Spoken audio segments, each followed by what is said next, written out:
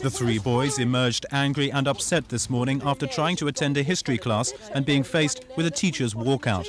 Earlier, the school's headmistress had warned them about the boycott. Uh, she said that um, as soon as we go into class, the teacher's going to ask us to leave, to go back down to her, or the teacher will walk out.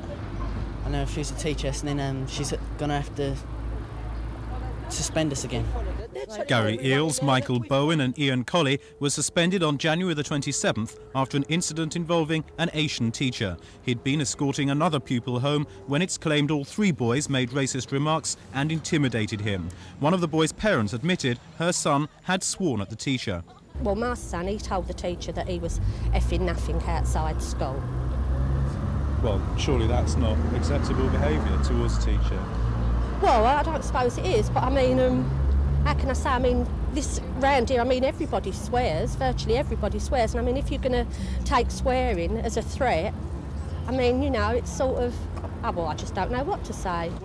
The boys deny being racist, and both them and their parents thought things had been resolved last week when governors at George Green School said they could return.